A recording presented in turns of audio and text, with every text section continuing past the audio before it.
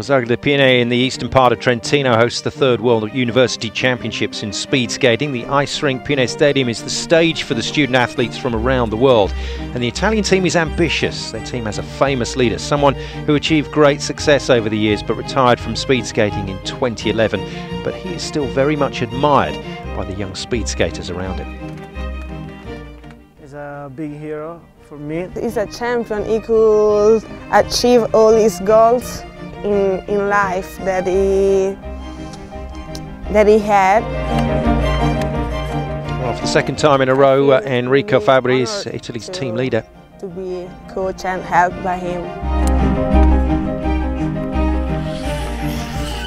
He's uh, an Olympic champion two times over. He's twice Universiade champion as well, and he loves coaching these student athletes and being their role model. His experience helping him to manage this home team for the World University Championships, and there he is. To be team leader, to be coach in general, it's uh, it's way different than to be an athlete. Also, if you work with the same sport, because we have to completely change the point of view, not just um, concentrated on yourself, but on the team and to give the 100% uh, to the team uh, to make them going as fast as possible. Maybe as fast as him at the 2005 Winter Universiade in Innsbruck, Austria, where he won his first gold medals in the 1500 metres and 5000 metres, and then bronze in the 10,000 metres. Wonderful performance. It gives me more confidence because uh, I felt uh, in myself that I was growing like uh, as an, a top athlete and also compared to the other country skaters and gives me a lot of energies. Well, boosted by these successes, Enrico went on to win two golds and a bronze at the Olympic Games in Turin one year later. The world discovered Enrico, and he certainly knows what it takes to win. I went back to all what I did to get that medals, to, to have that, uh, that results. And of course uh, it um, jumps in the mind also the, the difficult moments, the hard trainings doing with the team. And then one year later on the same ice rink, the double Olympic champion skated at the Winter Universiade again, winning three gold medals. Once again, the superstar of student speed skating.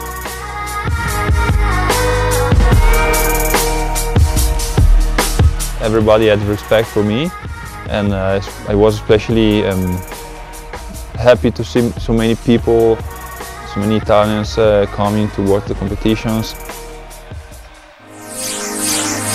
Italian public also wants to celebrate Italian medals here in Baselga di Piné. To achieve the best results, the FISU hero has his own methods for success when it comes to his own skaters.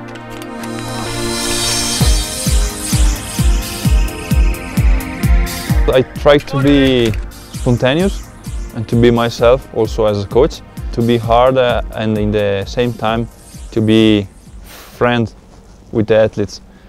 Uh, of course in a, in a, in a right uh, balanced way because uh, athletes have to respect me but they also have to be in confidence and say to the coach the, their problems, their feelings without any reasons to be scared about the trainer.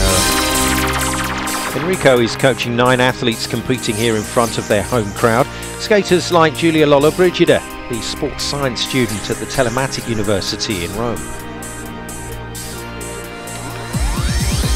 It's really exciting to represent the Italy team and also my university, which helps me to combine sport and, and study that it's really important I think for for a life of someone because it forms you. Giulia was an inline skater before switching to the ice. The 20-year-old student was third in the team pursuit event at the 2013 Winter Universiade in Trentino and she's really benefiting from working with a speed skating legend like Enrico. I just started ice skating when he just won the Olympic gold medal.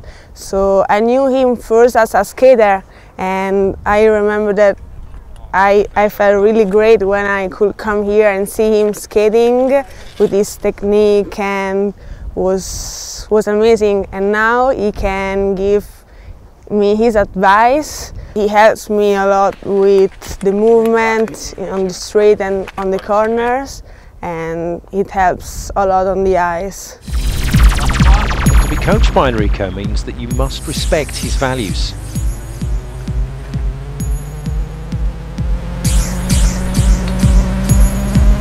He also wants to transmit us what he lived because it was so so great for him that he, he wants us to be and to achieve the same goals he, he had. Well, Italy were the second best nation behind Poland at the last World University Championships in 2014. Enrico must trust in the potential of his team here on home ice. They just have a, had an easy training on the ice. I don't give many technical advices because now it's too late to change the technique, but to get as, as much as possible confidence on the you know on the on the competition speed concentrate on the weight take the the, the laps uh, like uh, they was on during the competition.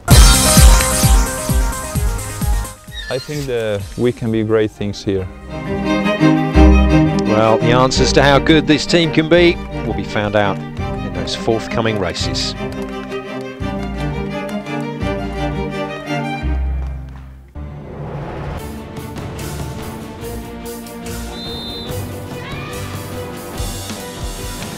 Follow the World University Championships.